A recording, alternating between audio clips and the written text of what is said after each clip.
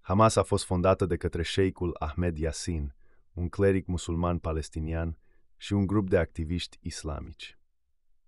Hamas a investit resurse semnificative în furnizarea de asistență socială și dezvoltarea infrastructurii pentru a ajuta palestinienii care trăiesc în teritoriile ocupate. Organizația a creat spitale, clinici și centre de sănătate care asigură servicii medicale gratuite sau la costuri reduse.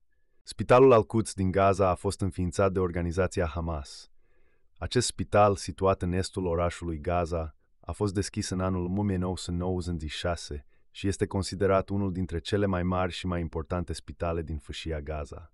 Spitalul Al-Quds a fost creat ca parte a eforturilor Hamas de a furniza servicii medicale și îngrijire pentru populația palestiniană din teritoriile ocupate. Acesta a fost construit și este gestionat de organizația Hamas. Aceste facilități au jucat un rol crucial în furnizarea îngrijirii medicale pentru palestinienii care, din cauza conflictului, se confruntă cu dificultăți în accesul la servicii de sănătate. De asemenea, Hamas a fost implicat în furnizarea de servicii educaționale, inclusiv școli, universități și programe de burse. Aceste inițiative au oferit acces la educație pentru copiii și tinerii palestinieni, contribuind la dezvoltarea lor personală și profesională. În ceea ce privește asistența socială, Hamas a lansat programe de ajutor pentru familiile defavorizate, oferind alimente, asistență financiară și alte resurse esențiale. Acest sprijin a ajutat mulți palestinieni să facă față dificultăților economice și să supraviețuiască în condiții de viață dificile. Acțiunile umanitare ale Hamas au fost în mod clar apreciate de anumite segmente ale populației palestiniene. Într-un context în care există numeroase restricții și dificultăți cauzate de ocupația israeliană, serviciile și asistența oferite de Hamas au adus un suport concret și au creat un sentiment de solidaritate în rândul palestinienilor afectați. Este important de menționat că perspectiva acestor activități caritative și umanitare ale Hamas poate varia în funcție de punctul de vedere. Există critici care susțin că Hamas utiliza aceste acțiuni pentru a solida susține politică, în mai influent în cadrul populației palestiniene. De asemenea, există îngrijorări cu privire la modul în care Hamas își finanțează aceste activități și dacă există legături cu alte activități ilegale sau finanțare teroristă.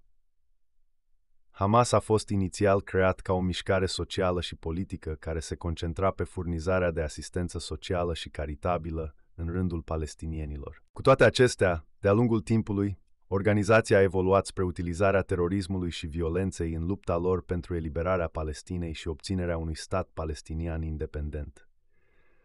Această schimbare de direcție a avut un impact semnificativ asupra percepției asupra Hamas în ochii multor țări și comunități internaționale, care consideră organizația ca fiind teroristă.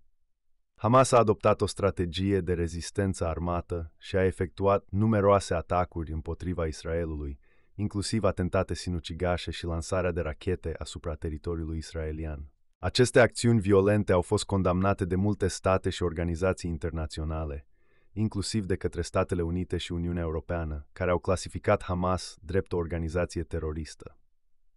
Percepția negativă asupra Hamas ca organizație teroristă provine din faptul că aceștia au vizat în mod deliberat și au atacat civili nevinovați, inclusiv prin utilizarea tacticilor precum atentatele sinucigașe. Aceste acțiuni au provocat suferință și pierderi de vieți omenești și au alimentat tensiunile și conflictul dintre Israel și Palestina. Această etichetare ca organizație teroristă a avut consecințe semnificative pentru Hamas, inclusiv sancțiuni financiare și restricții în ceea ce privește relațiile internaționale. De asemenea, a limitat în mod semnificativ capacitatea organizației de a-și promova cauza și de a obține sprijin internațional pentru obiectivele lor politice.